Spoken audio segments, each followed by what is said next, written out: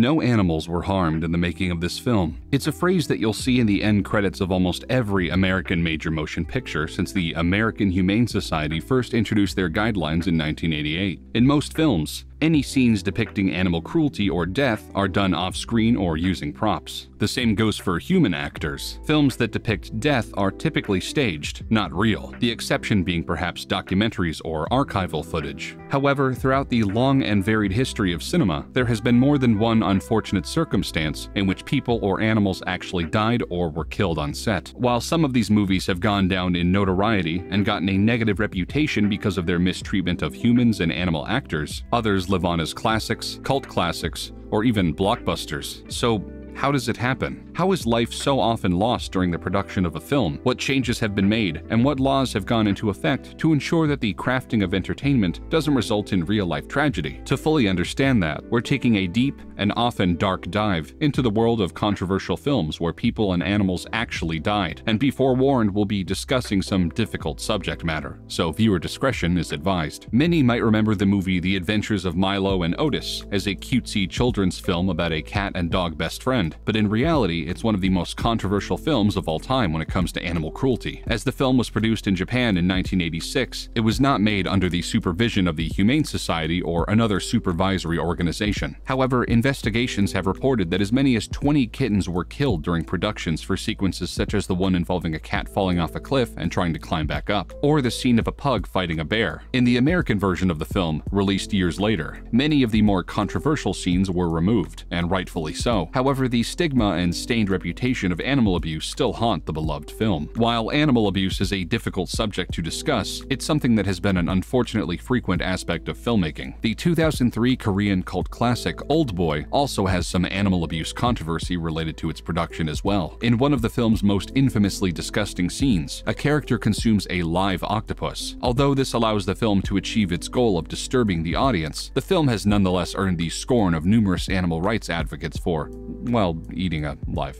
octopus. That being said, the worst example of animal cruelty actually being committed on film is arguably the 1980 Italian film Cannibal Holocaust, which has earned the title of one of the most controversial films of all time. Many countries censored or banned the film in its entirety, and the film remains banned in many countries to this day. The director of the film himself condemned his own actions on the set of Cannibal Holocaust when it comes to the killing of animals. There are six scenes of real animal death on screen, although reports say that a total of seven animals were killed, as one of the scenes had to be shot twice. The awfulness of these deaths is made even worse by the fact that they are so violent and cruel. Perhaps the most notorious scene features a large turtle being decapitated and torn apart after being dragged from the water by the human cast. However, the most bizarre thing about the story of Cannibal Holocaust is that the film was accused of being a snuff film, meaning that the deaths shown on camera were once believed to be real. Although these claims were eventually disproven, they were so widely believed that charges were filed against the director for murder. The situation was further complicated by the fact that the actors in the film were contractually obligated not to make any public or promotional appearances associated with the film,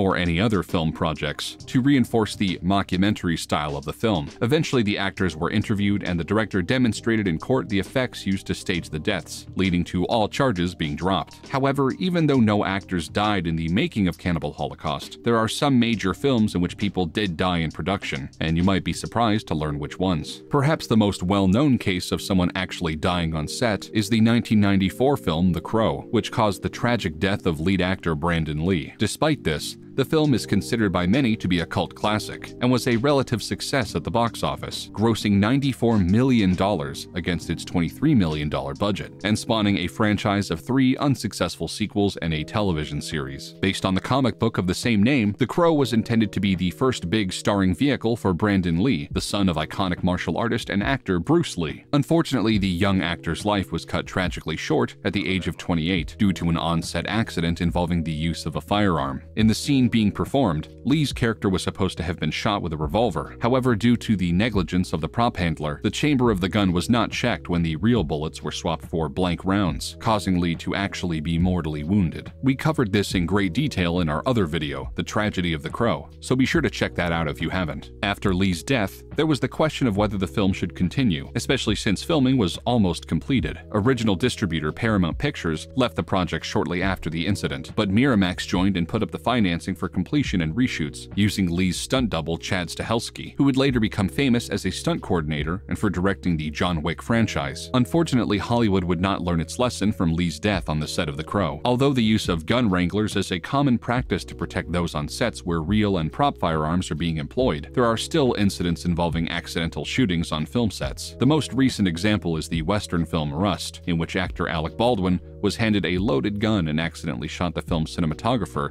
Halyna Hutchins. Speaking of Stahelski, he would later become embroiled in an on-set death controversy of his own, as a lawsuit was filed against him and the production company of The Expendables 2, on the set of which stuntman Kun Lu died in a stunt claimed to be unsafe. During a stunt on a boat, there was an explosion that led to the death of Lu. Lu's family then sued the production company and stunt coordinator Stahelski, claiming they, quote, recklessly organized, planned, set up, produced, directed, trained, coordinated, and otherwise prepared for and implemented the stunt causing Lu's death. The results of this lawsuit were not widely publicized, but one can assume it was settled out of court. Fans may not realize that there was an actual death in the filming of the 1986 classic Top Gun. Stunt pilot Art Scholl had been filming some background shots for the film before his plane was lost. After radioing in that he had a serious problem, the observer plane went to look for him, only to find debris and oil in the water. Scholl's plane and body were never found. Another on-set death that largely went under the radar happened on the set of comic book movie Deadpool 2. While while serving as stunt double for Zazie Beetz in the role of Domino, stuntwoman Joi Harris was ejected from a motorcycle without wearing a helmet. This led to criticism of the film's team for putting Harris into an unsafe situation operating the vehicle, and despite the studio's disagreements with the reports, improved safety protocols. Although it wasn't related to a stunt, there was also a tragic on-set death during the production of the 2008 action film Jumper, which starred Hayden Christensen and Samuel L. Jackson. During the demolition of a set in Toronto, a set dresser was instantly killed when frozen sand, soil, and ice fell down from the set onto him, described as a fluke accident. There were fines charged to producers for unsafe on-set conditions, but this incident otherwise largely went under the radar. Perhaps the most egregious case of negligence resulting in an on-screen death is the anthology film Twilight Zone the Movie, a helicopter accident on the set of the segment directed by iconic filmmaker John Landis, who is behind such acclaimed films as Animal House and An American Werewolf in London, led to the absolutely devastating devastating deaths of actor Vic Morrow and two child actors. What makes this situation so frustrating is that the incident occurred in direct violation of laws when it comes to hiring child actors. In the nighttime scene, which was shooting around 2.30 a.m., an explosion was detonated near a helicopter, causing the helicopter's rotor to detach and immediately kill Morrow and the two young actors in the scene. Simply put, the two child actors should not have been on set at that time. California law prohibited children from working at night and in proximity of explosions, and the presence of an on-set teacher or social worker is required at all times. Landis' set did not adhere to any of these three requirements. Purposeful efforts were also made to obscure the child actor's participation in the scene from casting directors and safety officers on set. The controversy caused by this incident caused several trials that lasted nearly a decade. Landis and everyone involved with the film were acquitted of manslaughter charges in a criminal trial, and while Landis continued to deny culpability for the incident, he admitted that hiring them in that way was wrong. Yet, even though Landis was was not found guilty in a court of law, his actions on set led to drastic changes in on-set safety in Hollywood. Several guilds established hotlines that allowed members to contact guild representatives 24-7 to report unsafe conditions on set or solve any concerns regarding regulations. The California Fire Marshal also established a program to ensure the safety of cast and crew on sets where pyrotechnic special effects are present. Although it may seem macabre to discuss such tragic instances of on-set deaths and animal cruelty, it is important for us to remember these incidents so that history does not repeat itself. In the words of Steven Spielberg,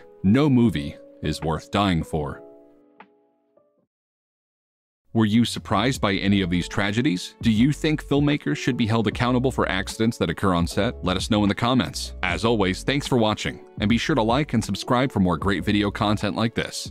Until next time.